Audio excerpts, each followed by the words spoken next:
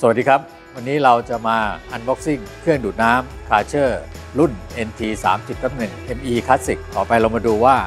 มันมีอะไรบ้าง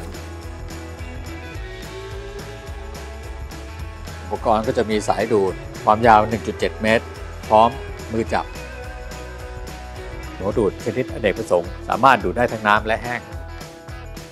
หัวดูดซอกแคบ ถุงบรรจุฝุ่น เป็นถุง fleece ท่อดูดฝุ่น ชนิด PVC 2ท่อน ล้อเครื่องจำนวน 4 ล้อ ไส้กรองหรือฟิลเตอร์ รุ่นนี้จะเป็นทรงกระบอก ซึ่งจะเพิ่มประสิทธิภาพในการกรองได้มากกว่าเครื่องรุ่นเก่า ที่เป็นกรองชนิดบาสเกตหรือที่เราเรียกว่าตะกร้ากรอง ต่อไปจะแนะนำการประกอบการใช้งานของเครื่อง ในกรณีที่นำเครื่องไปดูดฝุ่นให้ใส่ถุงบรรจุฝุ่นและกรองอากาศในตัวเครื่อง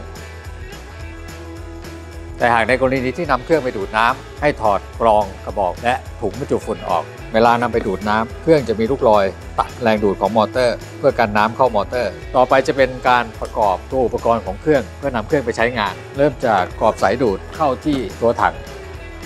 น้ำท่อดูดฝุ่นซึ่งเป็น PVC จำนวน 2 ท่อน ประกอบเข้าที่ตัวมือจับน้ำปากดูด กรอบเข้าที่ตัวท่อ แค่นี้ก็สามารถพร้อมใช้งานได้เลย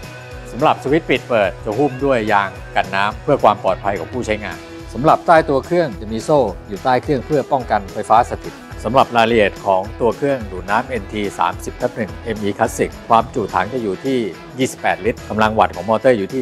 1,300 วัตต์ แรงดูดจะอยู่ที่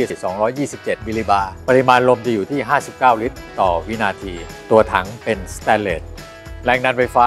220 โวลต์ สำหรับเครื่องดูดน้ำ NT 30ทับ1 ME Classic เหมาะสำหรับในการใช้งานสาหกรรมขนาดเล็กและขนาดกลาง และใช้ในงานทั่วไป